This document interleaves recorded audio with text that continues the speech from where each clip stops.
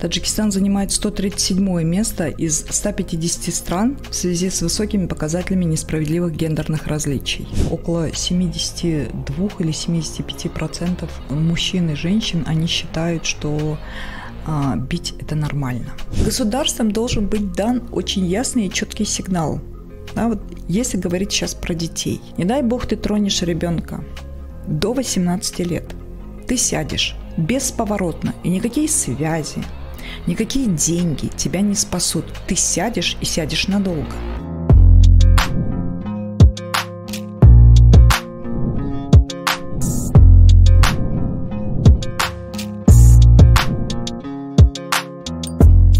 Добрый день, это очередной выпуск цикла подкастов «Такой вопрос». Меня зовут Зибота Джибаева, и в канун Международного женского дня и Дня матери в Таджикистане мы вновь решили обратиться к теме насилия в отношении женщин, но рассмотреть эту тему с точки зрения социологии, а точнее социологических исследований. Центр социологических исследований «Зеркало» проводил несколько исследований по оценке ситуации гендерного насилия в отношении женщин и девочек в Таджикистане. Сегодня у нас в гостях глава Центра «Зеркало» Гульнора Бекназарова. Здравствуйте. Здравствуйте, Гульнора. Здравствуйте. И прежде чем говорить о вообще исследованиях да, по этой теме, давайте определимся с понятием, что такое гендер. Хотя мы говорили об этом и в предыдущих выпусках, я думаю, что стоит напомнить нашим слушателям. Позвольте поздравить тогда а, слушателей а, с наступающим праздником 8 марта, пожелать а, всем благополучия, мира, добра, Вообще, э, хотела сказать, что мы живем в Таджикистане, восточная страна, и э, в этот день, э, как и принято, будут говорить эм, красивые слова в адрес женщин, матерей, любимых, будут читать стихи, вот, а заканчивается праздник и заканчивается все. А почему так происходит? Вот потому что есть неравенство. И вот гендер, он как раз-таки об этом неравенстве. Гендер вообще – это концепция, направленная на выравнивание возможностей, а, равного доступа к образованию, равного доступа к труду, а, к медицинским услугам и так далее. Казалось бы, ну вот Конституции у нас определено, что все равны вне зависимости от пола, но тем не менее это неравенство существует, и надо сказать, что Таджикистан одним из первых он ратифицировал Конвенцию о ликвидации всех форм дискриминации, в отношении женщин правительством страны делается очень много. Но э, примером а, могут служить принятые постановления, стратегии, законы, квоты для поступления девушек э, в систему высшего образования и так далее. Вот, кстати, одно из недавних, в прошлом году, летом был принят закон о дискриминации. О ликвидации всех о... форм дискриминации. Совершенно да. верно. О, а, о борьбе, по-моему, да, как он правильно звучит-то? О, о равенстве и ликвидации всех форм uh-huh. дискриминации. Вот. Э, то есть делается очень много, а, но тем не менее остаются проблемы, и могу сказать, что в 2020 году по данным индекса гендерного разрыва Таджикистан Таджикистан занимает 137 место из 150 стран в связи с высокими показателями несправедливых гендерных различий. Это вот э, к тому, что э, если возникнут вопросы, а, ну, вроде же все нормально. Нет, не нормально. 134 место в связи с несправедливыми э, экономическими различиями. Хочу сказать, что по уровню занятости гораздо меньшая доля женщин трудоспособного возраста, она трудоустроена. Да? Все это в совокупности говорит нам о гендерных э, различиях. Еще раз, гендер – это концепция, направленная на выравнивание возможностей для э, женщин и мужчин. То есть это не про пол? Ну, совсем. это в меньшей степени про пол. Э, это в англоязычной литературе есть понятие э, пол, биологический пол, угу. и есть понятие социальный пол. Вот как раз-таки гендер это и есть социальный пол, тот, который э, сконструирован в каждом обществе. То есть что такое сконструирован? Что такое быть девочкой, девушкой, женщиной? Что такое быть мальчиком, мужчиной? Каким образом необходимо себя вести? Ведь даже э, когда мы идем в роддом, чтобы забирать ребенка, то для мальчика покупаем голубую э, пеленочку, а для девочки розовую. Да? Мы с самого детства начинаем это конструировать. Девочку направлять на то, что чтобы она была послушной, тихой, скромной, а, замечательные качества, но а, где а, тогда мои потребности, где тогда мое желание, допустим, учиться на инженера, учиться там, допустим, на программиста, да? Говорят, нет, ты лучше иди в педагогический, а педагогический институт – это школа, это совершенно другие возможности, это не то, что я хочу, допустим, да? То есть а, я говорю про те конструкции, которые сидят в наших головах, и те конструкции, которые говорят родителям, что а, в 17-18 лет надо девочку выдать замуж, потому что средний возраст девушек по Таджикистану, вступающих в брак в первый раз, это 21 год. Для юношей это 25-26 лет. То есть юношам дается больше простора, больше возможностей для реализации, потому что считается, что мужчина – это тот человек, который должен кормить, обеспечивать семью. Это, конечно, замечательно, но однако же реалии сегодняшнего дня нам говорят о том, что невозможно только лишь одному человеку прокормить семью. Это раз. Дело даже и не в этом. Если девушка хочет заниматься домом и семьей, это замечательно, пусть, но это должен быть ее выбор, это должно быть ее решение, да. А когда ее выдают э, замуж это, кстати, относится к категории принудительных браков, да, без ее согласия. А брак – это не панацея, это не решение э, вообще э, никаких проблем. Это просто, это естественное желание человека, да, вот создать брак, семью. Мы знаем, что статистика по разводам, она положительная в Таджикистане. Их становится больше. Их становится больше. И если девушка, а, не получив а, специального профессионального образования, я не говорю обязательно высшее образование, да, а хоть какие-то навыки, которые она могла бы монетизировать на рынке труда, если у них и у нее этого нет, и она разводится и остается с детьми на руках, а у нас, как правило, ответственность, несмотря на принятые, э, на принятые законы, да, об ответственности родителей, социальная практика, она несколько другая. И девушка, остающаяся с детьми на руках, а, что она может им дать без этих профессиональных навыков? Куда она может пойти? Да? Тут э, это, это комплекс проблем, взаимосвязанных, которые на а, государственном уровне а, ну, решаются, да, я, я привела примеры а, принятых законов, указ президента, допустим, о повышении роли женщины в обществе, стратегии, а, направленные на расширение а, роли и активизации женщин. Это все замечательно, но есть и социальные практики, вот с ними и нужно работать. Как раз-таки одна из рекомендаций э, Комитета по ликвидации всех форм дискриминации Таджикистану, она а, гласила следующим образом, что необходимо работать э, вот э, с негативными стереотипами, которые выступают очень серьезным барьером на пути решения этих пресловутых гендерных вопросов. То есть исследования нужны для того, чтобы определить природу стереотипов и возможности как-то с ними бороться? Исследования, знаете, а, необходимы для того, чтобы... Там несколько а, назначений у исследований. Одно из назначений, оно направлено на то, чтобы посмотреть, а, как меняется ситуация, то есть мониторить процесс, да, вот э, каким образом меняется ситуация в любой стране по решению гендерных вопросов. Послушайте, у нас в Таджикистане 49,5% это э, женщины, 55% это мужчин. Половина населения, она, получается, она как бы находится за таким стеклянным барьером, да, это ненормально, это тот ресурс, который можно использовать э, с точки зрения вот государства, да, и государство, еще раз повторюсь, оно делает немало в этом направлении. Второе назначение э, исследований в целом – это дать независимую и объективную оценку э, того, э, что происходит по тем или иным направлениям, в частности, по насилию в отношении женщин. Вообще эта тема, она ранее, ну, как бы как это, исторически она не рассматривалась. Это 80-е годы прошлого века.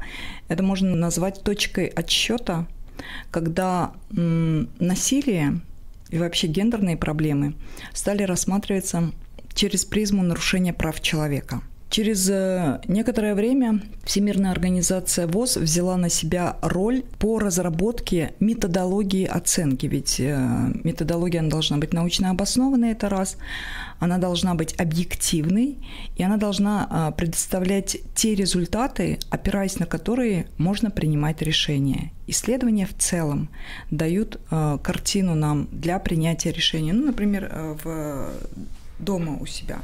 Вы открываете холодильник и смотрите, что у вас есть, чего нету. Это то же самое, вот вы проводите оценку, да, и потом уже на основе этой оценки принимаете решение.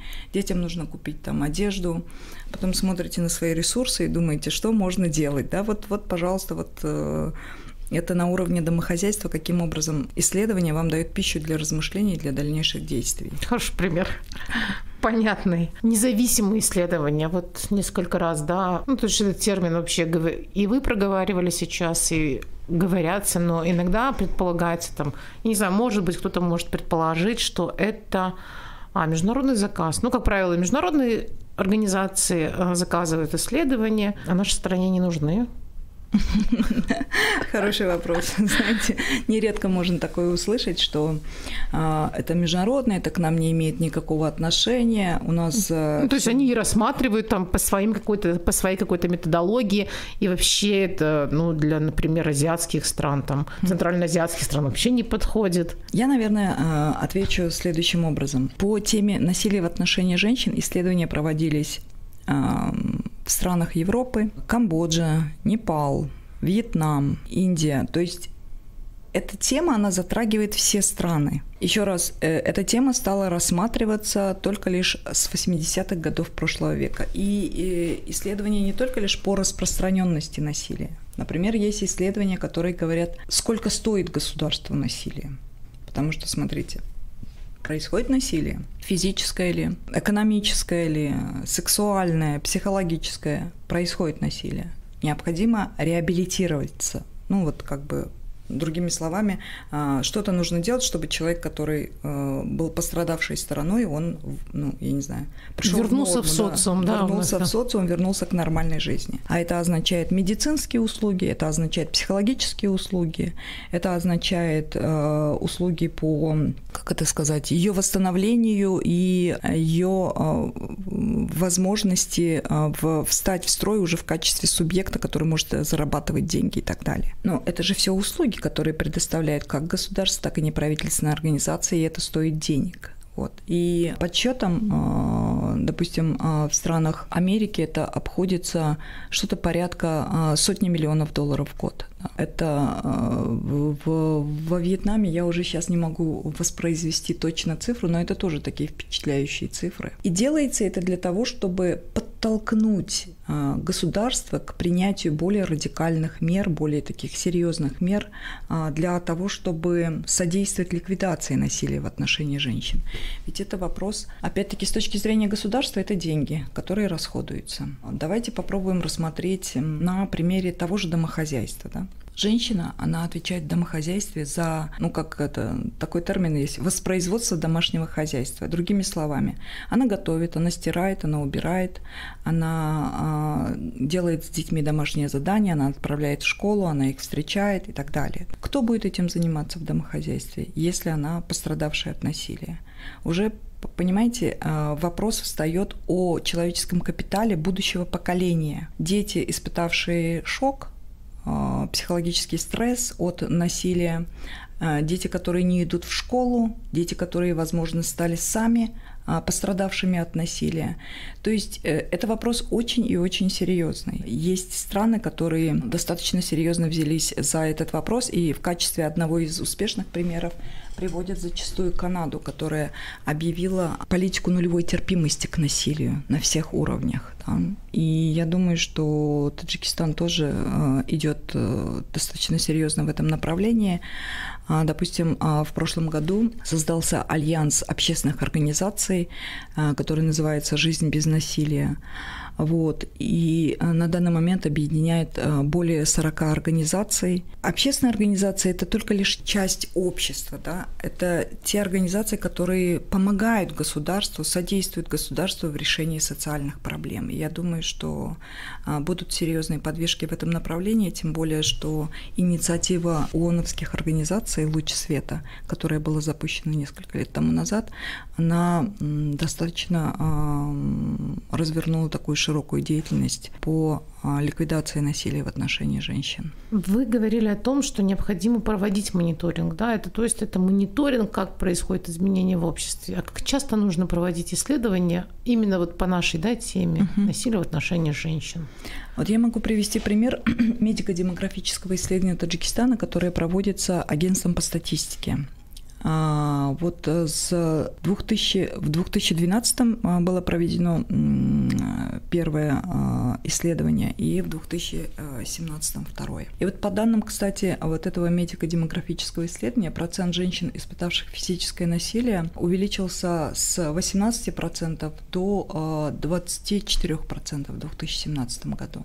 При этом я хочу сказать, что это цифры, как отмечается в самом документе, медико-демографического исследования, эти цифры нужно принимать э, с пониманием того, что не все женщины заявляют о том, что они испытали насилие. Да? Табуированность этой темы, она продолжает сохраняться в нашем обществе. Если о физическом насилии могут сказать, то о сексуальном насилии в меньшей степени. Далее есть такой э, вид насилия, как психологическое насилие. Не вы распознать тяжелее. Его достаточно сложно распознать, и иногда пострадавший он даже и не понимает, что он находится под этим психологическим прессингом. Про экономическое насилие я уже вообще молчу, да, как бы. А, тут женщина может его не распознать в силу, а, опять-таки, представления о том, что, ну, как бы, это нормально. Да, он же меня кормит. Да, он же меня он кормит. же имеет по... право требовать отчет или там говорить, что ты там сохрани, сократи расходы на uh-huh. что-то. Ну, то uh-huh. есть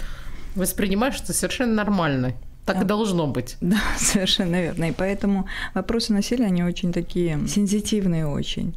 И отрадно, что, а, допустим, а, Комитет по делам женщины и семьи при правительстве Республики Таджикистан, который является ну, самым активным органом, да, а, ну, понятное дело, что они и уполномочены заниматься этими вопросами, но тем не менее они поднимают эти вопросы.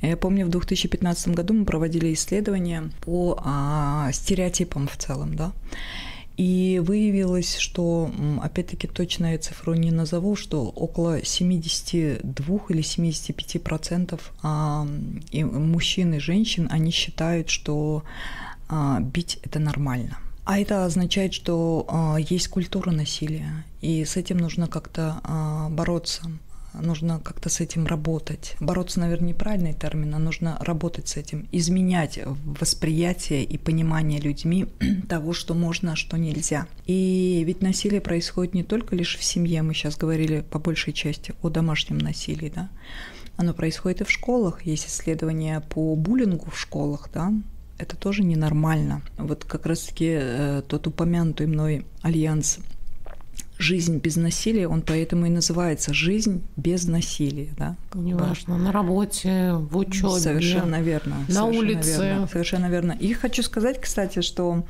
э, у нас же любят поэзию, да? Uh-huh. А вот я, когда а, готовилась к беседе с вами, вот так э, листала информацию, и с удивлением наткнулась на стих Хаяма, я его весь не воспроизведу, я его зачитаю, не выучила я его. Вот. «Остерегайся раны наносить тому, кто грубой силой не ответит, и кто не может шрамы залечить, кто твой удар любой покорно встретит. И это говорил Хаян, на секундочку, да. То есть вопросы насилия, они как бы достаточно... И со времен Хаяма они да, были да, актуальны да. и не актуальны сейчас. Достаточно имеют древние, да, такие. Кого вы опрашиваете? Вот сейчас вы проговорили о том, что, в принципе, женщины это в меньшей степени говорят о физическом насилии, а тем более сексуальном. Угу. А кого опрашиваете для того, чтобы вот это в своих исследованиях для того, чтобы оценить ситуацию по насилию в отношении женщин? Угу. Спасибо за вопрос. Все зависит от, а, от того, какая тема и цель исследования. Вообще мы сейчас говорим про насилие, да, такие проценты, сякие проценты. Это не означает, что в каждой семье Таджикистана происходит насилие. Да? Это, это абсолютно не так. Да? Просто есть это явление в стране, вот, и по нему идет работа.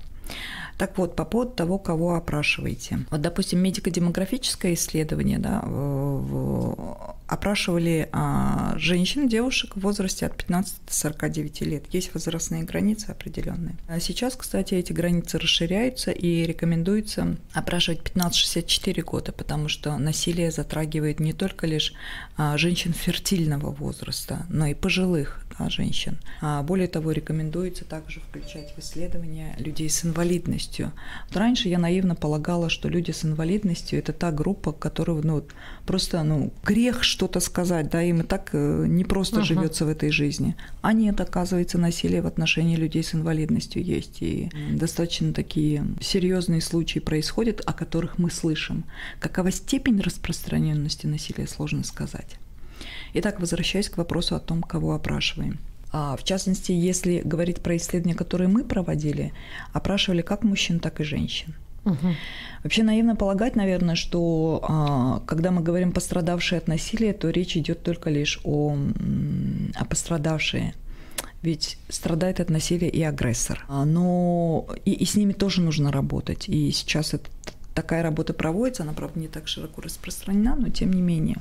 Страдает, я имею в виду э, в том плане, что ведь представим себе жизнь без насилия, да, человек, который занимается, который готов э, к коммуникации, готов к консенсусу, да, это ведь совершенно другая жизнь, нежели э, находиться все время в плену агрессии, да, это это, это две разные жизни, это две разные траектории, да, это две разные возможности. Опрашиваем как сельских, так и городских людей, а, ну, вообще население. Сельские, городские. Есть ли различия, да, вот, например, если они там говорят о причинах? Какие, кстати, причины чаще всего называются? Причина ну, насилия именно. Ну, а, вообще, если говорить, тоже очень хороший вопрос, потому что дает возможность порассуждать, да, поговорить на эту тему. А для агрессора нет причины. Ну, по сути, спусковым крючком выступает там какие-то там плохо помыло, там что-то не так сделано, но это уже становится практикой поведения. Почему и говорится о э, вот в опросниках по распространенности насилия ставится вопрос о частоте, допустим, да, угу. сколько раз за последние там 12 месяцев или сколько раз в течение жизни. Есть э, два индикатора – за последний год, и за последние 12 месяцев, прошу прощения, и в течение жизни. Так вот, если говорить о различиях а, среди а, сельских и городских, да. нет различий, по сути дела, да, как бы есть только лишь различия в процентах, но оно тоже вполне логично объяснимо, знаете, Зибо, потому что у нас более 70% населения проживает в сельской местности. Угу. И поэтому, безусловно, удельный вес женщин, которые испытали насилие а, по сельской местности, будет гораздо выше. При этом хотела бы отметить, а, что насилие не имеет возраста, насилие не имеет типа поселения, да, село это или город, уровня образования, финансового статуса. Это может затронуть каждого. И поэтому бы этот вопрос достаточно такой, опять-таки повторюсь, серьезный, да. И насилие, кстати, может затронуть теперь по части пострадавших детей, женщин, людей с инвалидностью, людей, проживающих с ВИЧ. Это тоже никто от этого не застрахован. Мужчин и женщин, но женщины являются более уязвимыми. Сложно проводить такие исследования? Очень сложно. Очень сложно. Почему? Ну, смотрите, если задать вопрос, а, какие а, газеты вы читаете, ну, проще ответить, наверное, да. Угу. А если задать вопрос о насилии, то это затрагивает тебя, да. Особенно если ты пережил это насилие. И если э, человек неподготовленный э, проводит опрос, то высока вероятность того, что он не получит ответ. При этом, то есть э, вопросы э, этики проведения исследований в, по этой теме, они как ни в каком другом стоят очень и очень так э, остро. Тренинги, которые проводятся для интервьюеров, это те люди, которые непосредственно проводят опрос, они занимают гораздо больше времени. А международные стандарты а, рекомендуют проводить тренинги в течение двух недель для того, чтобы подготовить людей для проведения исследования. Более того, я вам хочу сказать, что когда интервьюеры проводят такие исследования, потом происходит выгорание. Да? Они уже не могут дальше слышать, не могут дальше проводить э, эти опросы. И с ними нужно проводить, э, приглашаются в команду психологи, которые работают с ними. Вот. Э, супервайзеры получают дополнительную работу, потому что они каждый день должны проводить брифинги с интервьюерами, держать руку на пульсе, понимать, что происходит там. Да. Ну вот э, сами кейсы, вот я, допустим, как-то задавала вопрос представителю общественной организации, которые занимаются э, в том числе вопросами насилия в отношении детей. Для меня это был глобальный вопрос. Как, как вы как вы вообще проводите эту работу, потому что морально это очень тяжело, да, слышать, что насилие, ну, как бы э, было в отношении ребенка, ведь ну, дети это совершенно другой, да, тот, кто никогда не сможет тебе дать отпор, Совершенно и беззащитные, да. Совершенно беззащитные, ведь насилие осуществляется в отношении тех, кто не может дать отпор. Да, тот, кто не сможет тебе ответить. Поэтому эти, как это сказать, темы э, серьезные, и проводить исследования по ним невероятно сложно. Как должны быть представлены результаты исследований, чтобы они имели какое-то воздействие на формирование угу. негативного отношения к насилию? Угу. Потому что я понимаю, одно дело представить их государству, представить их международной организации, да, которая, в принципе, заказала это исследование. Но общество же тоже должно видеть их. Угу. Или нет? Да? Или им могут быть интерпретированы результаты не как-то иначе там. Смотрите, Зибу, а, я помню, был такой ролик, что ли, прошелся, да, по интернету, где а, парень избивает девушку. Угу. Вот, либо другой ролик, где во время, по-моему, это в Узбекистане было, я боюсь ошибиться, где жених ударил э, девушку во время свадьбы, да. Да, это узбекский ролик был. Узбекский ролик, да. И посмотрите, какая реакция была тех, кто там стоял. Я про реакцию тех, кто смотрит, не говорю сейчас. Я про тех, кто рядом находился. Да? Вот это больше шокировало, кстати, чем поведение жениха самого. Но ведь это же говорит о нормальности восприятия ситуации. Ты ударил, и тебя окружающие не осуждают ты ударил, и окружающие тебя воспринимают. Более того, начинают говорить, что ну правильно, что она там полезла там, или парень, который избил девушку. Ну а кто знает, почему там он за ее что ударил, он за что он ее ударил, да, вот как бы. То есть, понимаете, вот э, начинает обсуждаться не сам факт насилия, а личность пострадавшей, да. Начинает говорить, ну вот она так себя повела неправильно, да, там, или еще что-то произошло.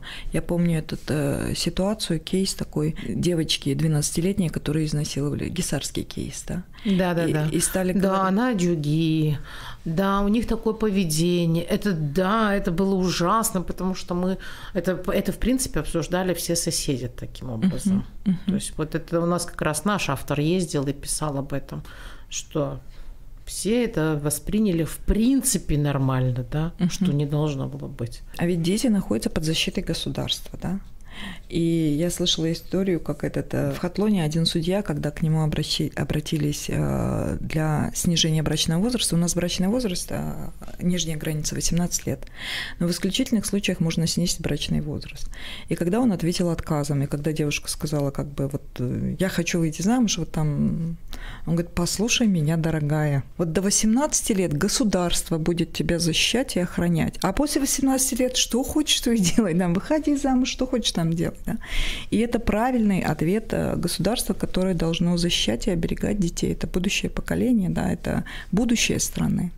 Я, кстати, тут гисарский случай хотела бы еще добавить, что ведь тогда же первый раз а, преступник избежал наказания. Первый раз, да. Да, и только под давлением общественности, что общество начало писать, поднимать эту тему, он все-таки, да, его приговорили, я не помню, к скольки годам, но тем не менее, да, это был тюрем, полноценный тюремный срок, которого, в принципе, все ожидали. Да, да, совершенно верно. Я хочу сказать, что и комитет по делам женщин тогда вмешался, да, потому что такие вещи делать это просто то есть государством должен быть дан очень ясный и четкий сигнал.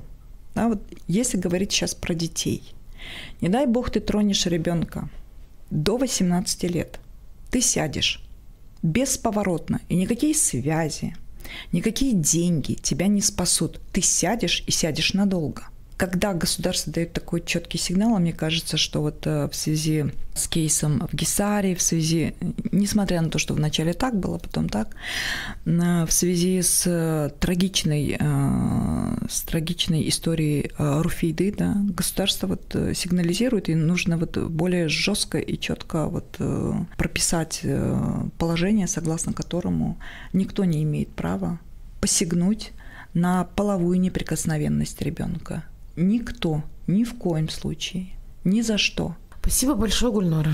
Спасибо вам. Да, я хотела напомнить, что этот подкаст мы пишем в канун Международного женского дня, и говорили мы о исследованиях, которые проводятся по вопросам гендерного насилия. И еще мы следующий подкаст будем писать вместе с представителями Комитета по делам женщин, а точнее их проекта 1313 – это горячая линия, куда могут звонить женщины, пострадавшие от насилия. Угу.